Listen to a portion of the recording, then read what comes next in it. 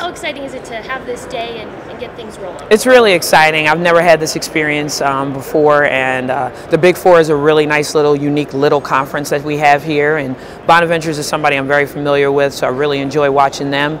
Um, and it's going to be great to coach against Jesse. Jesse's a good friend of mine, and we've known each other over the years, so that should be fun. Um, I'm getting to know a lot of the other teams as far as Buffalo with Coach Jack. Uh, we had a nice battle with them at our place last year and look how their season turned out. Yeah. So, you know, we're doing things the right way. Hopefully, we're going to end up like they did last year. What you can know? you tell me about this year's team and your girls? We have a lot of depth this year. Um, we're really excited about having a bench now. Um, Victoria Rampado, our best player, is back after having season-ending surgery last year with her labrum. Um, so we're looking forward to her coming back and leading this team, you know, to a lot more wins.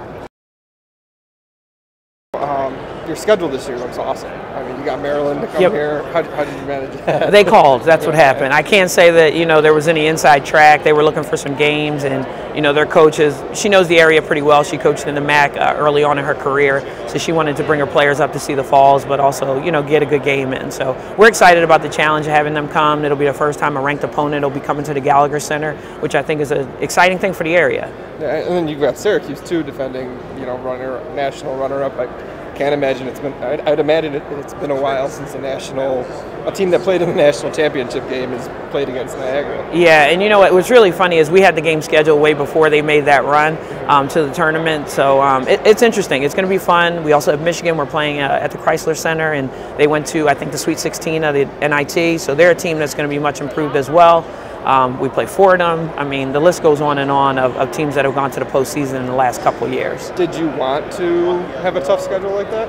I wanted to challenge us early just to see kind of where we were at. Um, we feel that the group that played a lot for us last year, combined with having Victoria back, we felt that we could, you know, challenge ourselves a little bit more um, and get ready for MAC play because, you know, that's what really counts. But also leading up to it, you want to measure yourself against some of the best teams in the country. Having Victoria back this year, especially after the things that Sam was able to do, I mean, that's we got to be excited about that. Very excited. I think that you know we shouldn't really skip a beat as far as it comes to post play. I think our guards are still developing. I think Jamie Sherburne had a phenomenal year last year, uh, finishing in the conference third, you know, in assists per game, and you know Kaylee, I think she did a really nice job. And now it's going to be about some of the newer guards that we brought in to go along with Corselli to see how we develop that way. All right, and, and you talked about depth, depth a little bit. You didn't really have much last year. How big of a difference does that make? It's going to be huge. Already we've seen it at practice, um, in the summer workouts, and you know with the preseason workouts, just having enough people going in.